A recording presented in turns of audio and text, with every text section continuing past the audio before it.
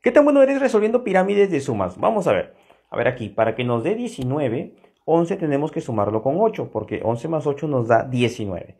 Aquí para que nos dé 11, 6 lo debemos sumar con 5, porque 6 más 5 nos da 11. Y aquí comprobamos que 5 más 3 nos da 8. A ver si me entendiste, este reto es para ti.